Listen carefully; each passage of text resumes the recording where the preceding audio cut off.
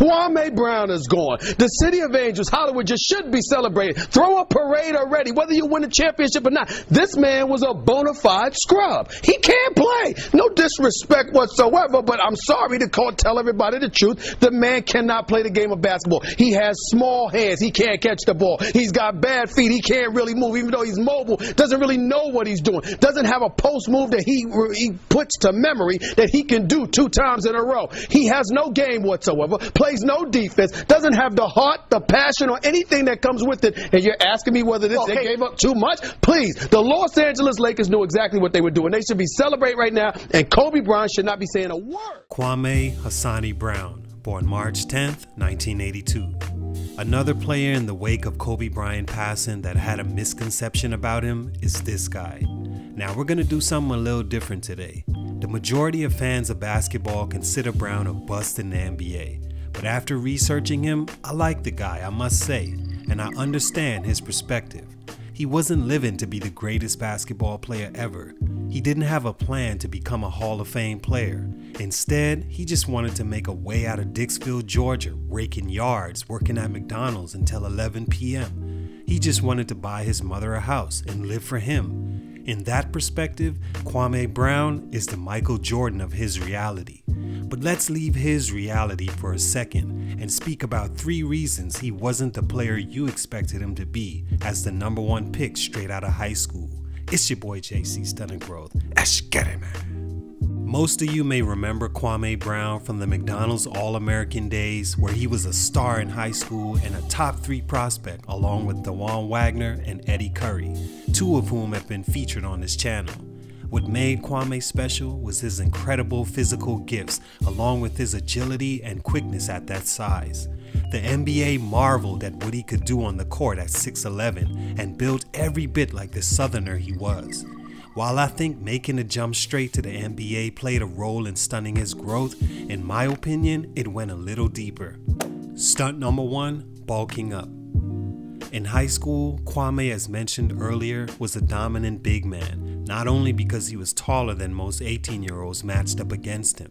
It was more attractive for scouts how agile he was at that size, his motor for his size, and his quickness for how tall the guy was. Kwame developed his motor and hard-working demeanor in Dixville, Georgia, and Glynn Academy in Brunswick.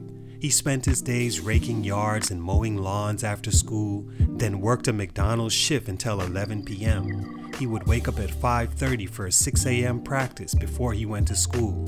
He did that every day of high school.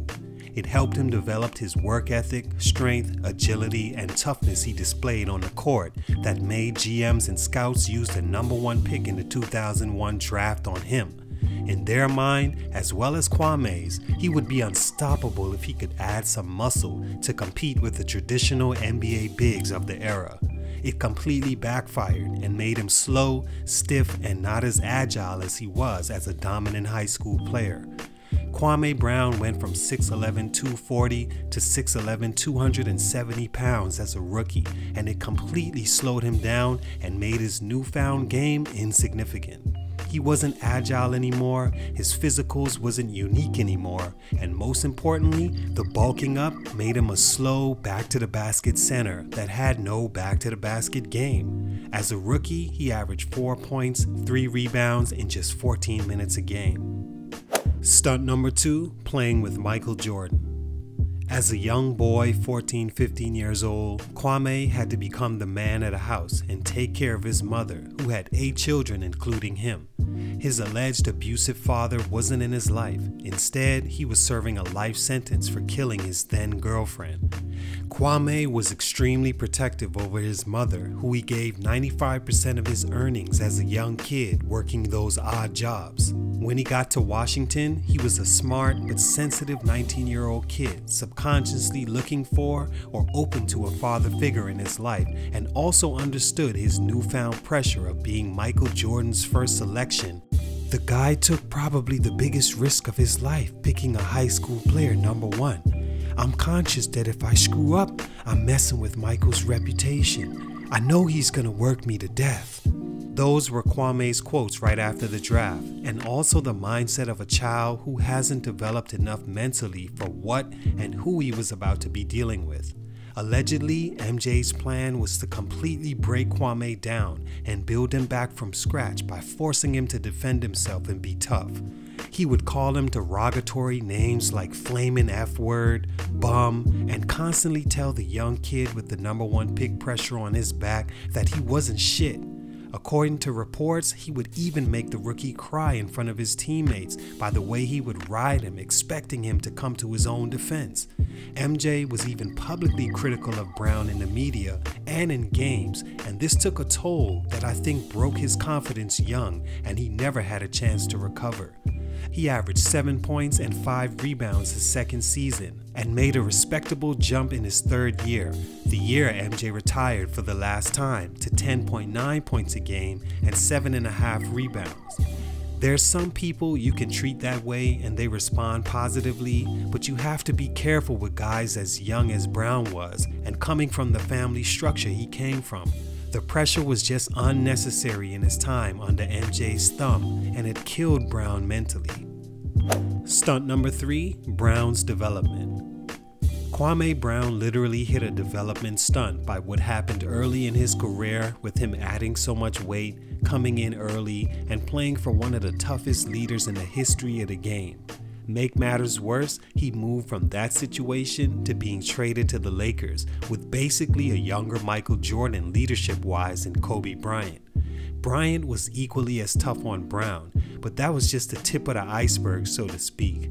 Kwame's skills were noticeably underdeveloped by that point due to him not really having to use them in high school and jumping straight into the MJ Shark Tank, where he was so defeated mentally that there was just no way for him to learn. Instead, he was miserable in Washington, and by the time he got to LA with Kobe, was already set in a mindset that he was never going to be what was expected. Mentally, he settled for just doing his job, which was to get Kobe open. According to him, he did that job pretty well. He would never see those numbers he averaged in 0304 ever again, and it's been downhill ever since on the court. Along with that, the media and fans everywhere took shots at him, calling him a bust and saying how trash he was, small hands, low IQ. It must have been hard living in that situation for a while. According to him, though, he got paid pretty well to be a bus, as they say, and doesn't regret a thing.